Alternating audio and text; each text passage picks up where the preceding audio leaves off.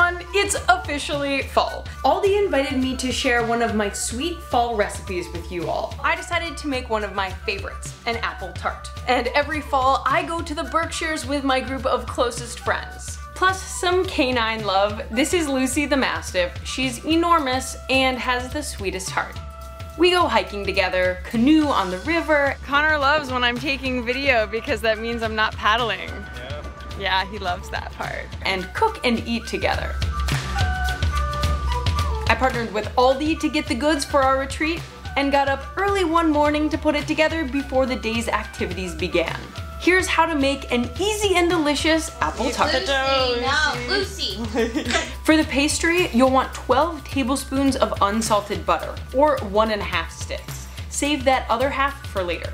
Cut up the butter. In a bowl, combine 2 cups of flour, a fourth cup sugar, and a scant teaspoon of salt. Stir that together, then using your fingertips, incorporate the butter chunks in a technique called sablage until it becomes the consistency of breadcrumbs. Add approximately a half cup of ice water, just enough for the dough to start coming together.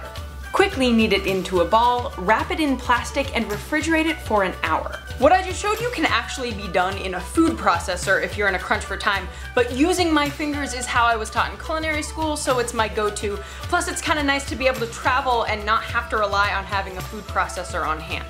Heat your oven to 400 degrees Fahrenheit. Get three to four Granny Smith apples and slice the apples, cutting out the core. Take out your dough and roll it to a bit smaller than your sheet pan. Place the slices of apple on top, slightly overlapping, or in any design you prefer. Then you'll want to get about a third cup of sugar and add in a teaspoon of cinnamon. Adding the spice is optional, but especially come autumn, I say bring on the cinnamon. Cut up that other half stick of butter.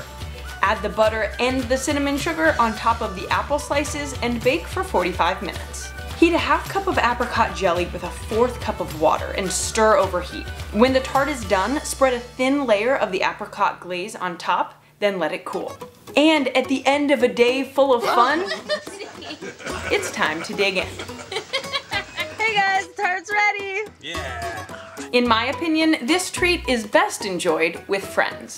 Well, Is it good? Mmm, love. well done. Yeah, dude. These Granny Smiths are probably the best ones I've had in a while. Yeah, we were eating them earlier too. Yeah, they're not too So good. tart.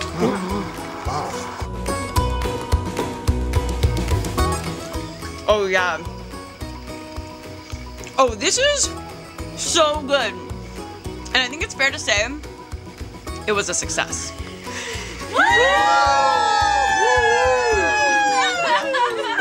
and don't forget guys, Keep it quirky!